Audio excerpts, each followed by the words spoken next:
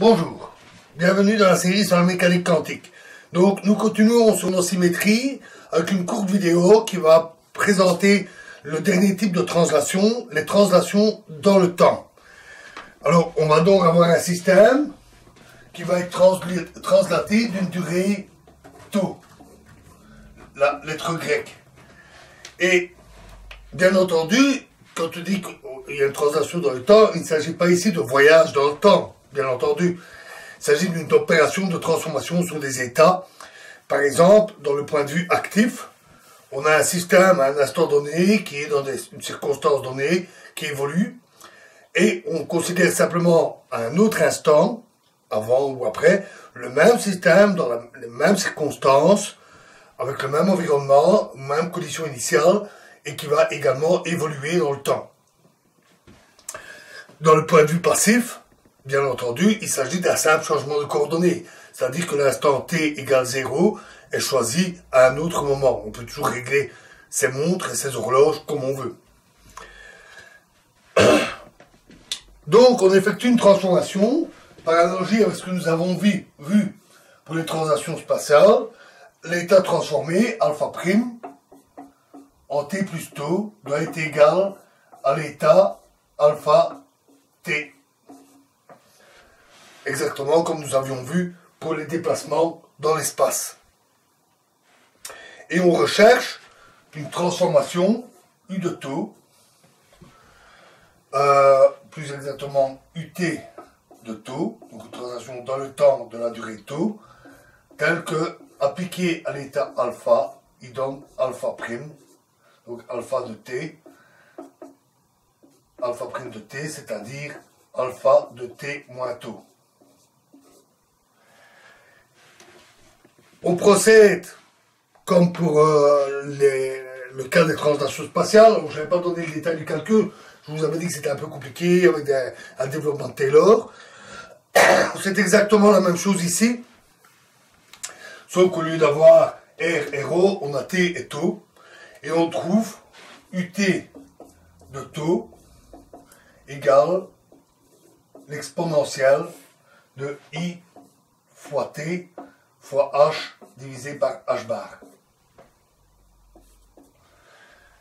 Alors, on avait P, l'impulsion, dans le cas spatial, parce que on trouve dans le développement Taylor, on trouve la variation par rapport à la position, et ici avec le temps, on trouve la variation par rapport au temps. Mais il y a une différence importante, c'est que cette dérivation, ici, elle ne marche que si H ne dépend pas du temps. Donc H, l'hamiltonien, est constant. Une hypothèse que nous avons d'ailleurs souvent faite. Alors, la raison en est que on trouve dans ce développement non seulement des variations par rapport au temps, par rapport au temps de alpha, mais également des variations au carré, donc variation de la variation de alpha. Et ça, on peut le remplacer par h alpha, une constante IH bar près. Mais ça, on peut le remplacer par h carré alpha que si h ne dépend pas du temps. Parce que la variation par rapport à alpha peut être remplacée par h alpha, à une constante près, et donc, ça va donner la variation par rapport au temps de h alpha. Et si variation du temps par rapport à h donne h, donc h carré, en multipliant deux fois par h, on a aussi une variation de h si celui-ci dépend du temps. Voilà pourquoi cette dérivation ne marche que si h est une constante.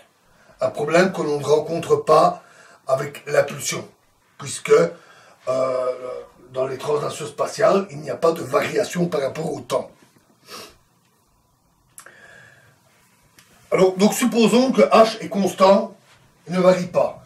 Dans ce cas-là, cet opérateur ne dépend que de h, et donc ben, il commute avec h, parce que u de t va commuter avec h, si h commute avec h, ce qui est évidemment le cas.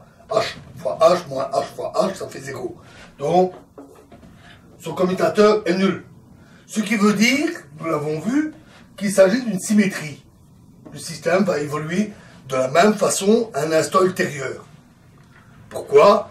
Parce que on se place à un instant ultérieur, dans les mêmes conditions, avec la même, euh, la même situation initiale, et comme il évolue avec le même, Hamiltonien, puisque celui-ci est constant, l'évolution avec l'équation de Schrödinger va évidemment donner exactement la même chose. C'est donc assez évident. Notons aussi que pour H constant, l'énergie est conservée. Et ça va de pair. Si on a une symétrie par translation dans le temps, alors l'énergie est conservée. Et si H n'est pas constant, si H varie dans le temps, comment est-ce qu'on fait? Eh bien, la démonstration est un peu plus compliquée, donc je ne vais pas vous la donner ici, mais on peut démontrer euh, que dans ce cas-là, euh, on ne peut pas avoir de symétrie au cours du temps. En fait, d'un point de vue physique, c'est assez évident. Vous vous placez dans le futur, avec le même système, les mêmes conditions initiales, le même environnement, mais l'Hamiltonien a changé. Forcément, l'évolution avec l'équation de Schrödinger va être différente. Donc, cette symétrie et cette conservation de l'énergie vont de pair avec un H constant et on n'a ni symétrie ni conservation de l'énergie si H dépend explicitement du temps. Voilà, je vous avais dit que ça serait court. Euh, on en a fini avec cette présentation des symétries et des translations. Dans la prochaine vidéo, nous verrons un autre type de symétrie qui est fort important aussi. Ce sont les symétries discrètes. Je vous remercie.